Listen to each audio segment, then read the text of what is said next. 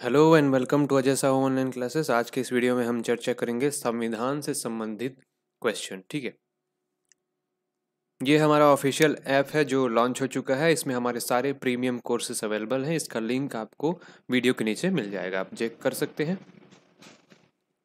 पहला प्रश्न है, राष्ट्रपति की अध्यादेश निर्गत करने की शक्ति कहाँ से प्रेरित है? ठीक है, भारत सरकार अधिनियम 1919 भारत सरकार अधिनियम 1935 या भारत सरकार अधिनियम 1909 या फिर भारत सरकार अधिनियम 1947 ठीक है?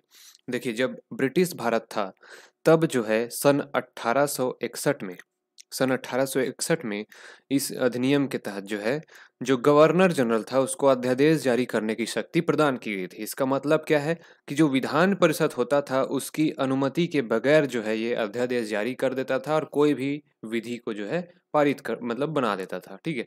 तो वही चीज़ जो है भारत सरकार अधिनियम 1935 के द्वारा जो है, राष्ट्रपति को अध्यादेश निर्गत करने की शक्ति जो है, यहाँ से प्रेरित है।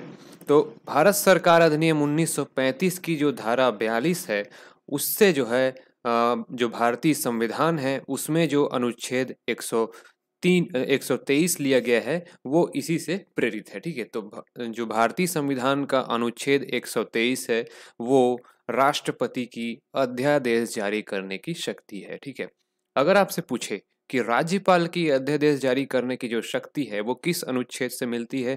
तो कुछ नहीं करना है, बस आपको इस एक दो तीन को दो एक तीन कर देना है, ठीक है? तो दो सौ तेरह, ये है राज्यपाल की अध्यादेश जारी करने की शक्ति, ठीक है? तो वन, टू, थ्री का खेल है तो इसको आगे पीछे करके आपको ऐसे याद रखना है, ठीक है? नेक्स्ट क्वेश्चन है हमारा, केंद्रीय विधानसभा का निम्नांकित में से कौन से जो निर्वाचन है, वो 1919 के तहत हुए थे, ठीक है? तो ऑप्शन है 1926, 1937, 1945 ठीक है तो इसका जो राइट आंसर है वो है सी ए और सी मतलब 1926 और 1945 का जो निर्वाचन हुआ था वो 1919 के अधिनियम के तहत हुआ था। मॉन्टेग्यू चैम्सफोर्ड सुधार के तहत। ठीक है तो ये आपको याद रखना है। नेक्स्ट क्वेश्चन है भारत के संविधान में केंद्र और राज्य के बीच में जो किया गया शक्तियों का विभाजन है इनमें से किसमें उल्लिखित योजना पर आधारित है? मार्लेमिंटो सुधार मॉन्टेग्यू चैम्सफोर्ड अधिनियम या भारत सरकार अधिनियम 1935 या फिर भारतीय स्वतंत्रता अधिनियम उन्नीस ठीक है? तो ये नहीं है, ये भी नहीं है और ये भी नहीं है। तो इसका राइट आंसर है सी भारत सरकार अधिनियम 1935 जिसके तहत क्या प्रावधान किया गया था? केंद्र और राज्य के बीच जो है शक्तियों का बंटवारा किया गया था, ठीक है?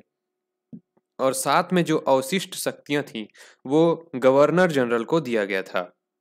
राज्य में जो है द्वैत शासन को समाप्त कर दिया गया था और केंद्र में जो है द्वैत शासन को लागू कर दिया गया। अखिल भारतीय महासंघ स्थापित करने के लिए इस 1935 के अधिनियम में प्रावधान किया गया। तो किस प्रकार? तो जो ब्रिटिश प्रांत थे साथ में जो चीफ कमिश्नरी जो क्षेत्र थे, ठीक है, और साथ में देसी रियासत, इन तीनों को जोड़ करके अखिल भारतीय संघ का इसमें स्थापना करने का प्रावधान भी किया गया था, ठीक है। तो 1935 का जो अधिनियम है, वो हमारे भारतीय संविधान का सबसे बड़ा स्रोत है। इसमें से लगभग ढाई सौ के करीब जो है आर्टिकल सीधे सीधे उठा लिए गए हैं, ठीक है। तो ये भी आपको याद रखना है।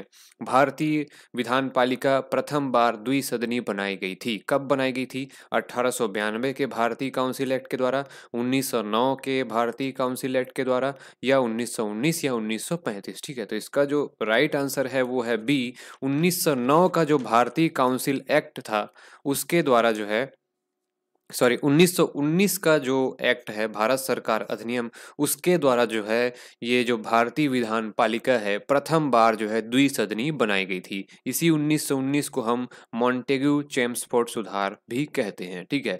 इसमें क्या किया गया था? ऊपरी सदन और निचला सदन बनाया गया था तो ऊपरी सदन को राज्य परिषद कहा गया और जो निचला सदन था, उसको केंद्रीय विधानसभा कहा गया, ठीक है? तो ये दो भागों में डिवाइड किया गया, इसका कार्य कार्यकाल पाँच वर्ष का था राज्य परिषद का और इसका था तीन वर्ष का, ठीक है? तो राज्य परिषद में साठ जो सदस्य होते थे और केंद्रीय जो विधानसभा है उसमें एक होते थे।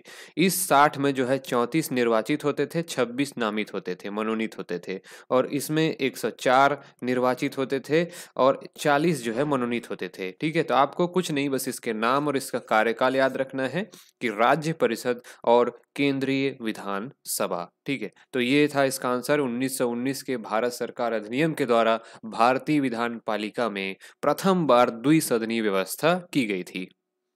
एक निर्वाचित संविधान सभा के द्वारा भारत के संविधान का निर्माण करने का प्रस्ताव कब किया गया, किसके द्वारा किया गया, ठीक है? तो साइमन कमीशन, भारत सरकार अधिनियम 1935 क्रिप्स मिशन द्वारा या ब्रिटिश कैबिनेट डेलीगेशन द्वारा, ठीक है? तो इसका जो राइट आंसर है वो है सी क्रिप्स मिशन ठीक है? क्रिप्स मिशन कब आया था? 1942 में, ठीक है? बयालीस में आया था, ये द्वितीय विश्व युद्ध के बाद जो है, यहाँ पर संविधान निर्माण करने का इसमें आश्वासन दिया गया था और इसको लाए थे स्टेफर्ड क्रिप्स जो अध्यक्ष थे, उन्होंने इस मिशन को लेकर आया था, वो लेबर पार्टी से थे।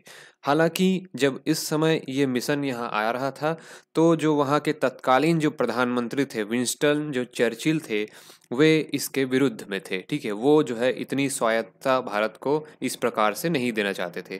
ठीक है? तो इसमें जो है ये प्रावधान था, ये ऐसा इन्होंने क्यों किया? क्योंकि ये द्वितीय विश्व युद्ध में भारत का मदद चाहते थे। तो एक लालच की दृष्टि से जो है ये मिशन आया था और इसको जो है महात्मा गांधी ने पोस्ट डेटेड चेक कहा था या फिर वह चेक जिसका जो बैंक है वो दिवालिया हो चुका है। ठीक है? तो ये आपको याद रखना है कि ये क्रिप्स मिशन था। नेक्स्ट क्वेश्चन है, इन व्यक्तियों में से कौन सा कैबिनेट मिशन का सदस्य नहीं था? William Wood, Pethick Lawrence, Stafford Cripps या ए बी अलेक्जेंडर। ठीक है तो ये जो तीन है, स्टेफोर्ड क्रिप्स, पैथिक लॉरेंस और ए बी अलेक्जेंडर, ये तीनों कैबिनेट मिशन में आए थे, लेकिन विलियम वुड नहीं थे। ठीक है तो इसका राइट आंसर ए हो जाएगा, विलियम वुड। नेक्स्ट क्वेश्चन है, निम्नलिखित में से अगस्त 1946 में गठित प्रथम अंतरिम राष्ट्रीय सरकार का सदस्य कौन नहीं था? ठीक है, C Rajagopalachari, doctor Rajendra Prasad doctor S Radhakrishnan या जगजीवन राम, ठीक है?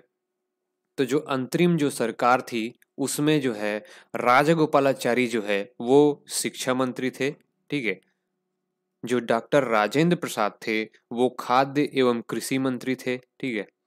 और जो जगजीवन राम थे, वो श्रम मंत्री थे। लेकिन डॉक्टर जो सर्वपल्ली राधाकृष्णन थे, वो इस अंतरिम सरकार में शामिल नहीं थे। तो ये आपको याद रखना है, इसका राइट आंसर हो जाएगा सी भारत के लिए संविधान की रचना हेतु संविधान सभा का विचार निम्नलिखित में से सर्वप्रथम किसने प्रस्तुत किया? स्वराज पार्टी 1934 कांग्रेस पार्टी 1936 मुस्लिम लीग 1942 सर्वदलीय सम्मेलन 1946 ठीक है। तो इसका आंसर है ए, स्वराज पार्टी जो है, उसने रांची में जो है, जो आत्मनिर्णय के अधिकार की इन्होंने मांग किया और इन्होंने जो है, सर्वप्रथम जो है, संविधान की रचना की मांग की और वयस्क मताधिकार की भी इन्होंने मांग की, ठीक है? तो ये पहला अवसर था जब किसी भारतीय पार्टी ने जो है, संविधान की गठन की जो है मांग की थी। तो ये स्वराज स्वराज पार्टी ने किया था और खास ये बात याद रखना है कि वयस्क मताधिकार की भी इन्होंने बात की थी, ठीक है? नेक्स्ट क्वेश्चन है, भारतीय संविधान सभा के संबंध में निम्नांकित में से कौन कौन से कथन सही हैं? पहला, यह वयस्क मताधिकार पर आधारित नहीं थी। दूसरा, प्रत्यक्ष निर्वाचन का परिणाम थी। तीसरा, यह बहुदलीय संरचना नहीं थी, यह कई समितियों के माध्यम से कार्यरत थी, ठीक है? तो मैं आपको बताता हूँ। राज्यों की विधानसभाओं ने जो है निर्वाचक मंडल के तौर पर कार्य किया था, ठीक है, संविधान सभा के गठन में तो इनका जो निर्वाचन हुआ था, वो हुआ था अप्रत्यक्ष, ठीक है?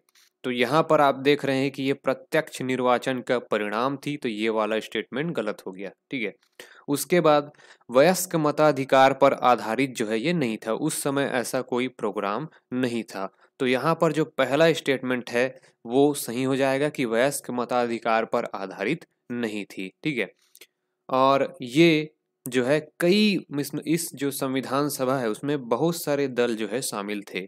तो ये वाला स्टेटमेंट जो है गलत हो जाएगा कि बहुदलीय संरचना नहीं थी, ठीक है? तो इसमें बहुत सारे दल इसमें शामिल थे। यह कई समितियों के माध्यम से कार्यरत थी तो ये बिल्कुल सही है। इसमें कई समिति थे, झंडा समिति और भी कई समिति, प्रारूप समिति, ठीक है? तो इस प्रकार से जो है संविधान सभा के बारे में ए और डी जो है सही है तो इसका राइट आंसर हो जाएगा ए ठीक है? नेक्स्ट क्वेश्चन है, भारत की संविधान निर्मात्री सभा के अध्यक्ष कौन थे? ठीक है ऑप्शन है doctor Rajendra Prasad B R Ambedkar Shri Iyer या पंडित जवाहरलाल नेहरू, ठीक है? जो संविधान निर्मात्री जो सभा थी, उसकी प्रथम बैठक हुई थी 9 दिसंबर को, ठीक है? 9 दिसंबर 1946 को इसकी प्रथम बैठक हुई।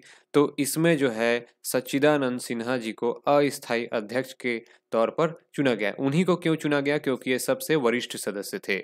लेकिन 11 दिसंबर को जो है, निर्विरोध के रूप में जो है, निर्विरोध तौर पर जो है, डॉक्टर राजेंद्र प्रसाद जी को चुन लिया गया। तो परमानेंट जो अध्यक्ष थे, वो थे डॉक्टर राजेंद्र प्रसाद। तो यहाँ पर वही पूछ रहा है, इसके अध्यक्ष कौन थे? तो यहाँ पर इसका आंसर हो जाएगा ए, डॉक्टर राजेंद्र प्रसाद।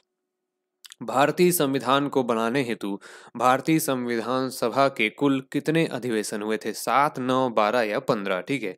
तो यहाँ पर ओवरऑल ओवरऑल राउंड फिगर में पूछ रहा है तो इसका आंसर हो जाएगा सी बारह। लेकिन आपको एग्जैक्ट याद रहना चाहिए, दो वर्ष ग्यारह माह अट्ठारह दिन लगे थे, ठीक है? दो वर्ष ग्यारह माह और अट्ठारह दिन, ठीक है?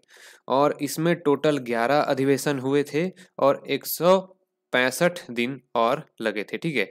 तो ग्यारहवें अधिवेशन के अंतिम दिन, ठीक है?